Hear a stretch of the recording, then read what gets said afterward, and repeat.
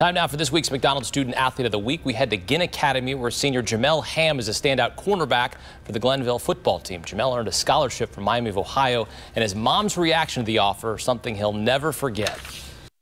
Her first reaction was, oh my God. That's all she could say is, oh my God. I just want to see my mom happy. You know what I'm saying? I just, that's all. I, I, love to see my mom smile. I, I will never let my mom down. And anything I say, I will never let my mom down. If I promise her something, I'm, I'm going to put all my effort into doing it.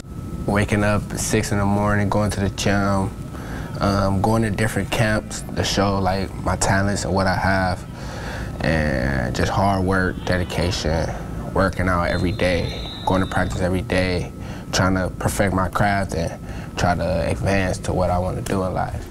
Most importantly, I want to get my degree and then try to reach my goal. That's obvious, like um, going to the pros. Nothing is gonna come to you easy. Just you gotta, you gotta. If you want it, you gotta go get it. You gotta work hard.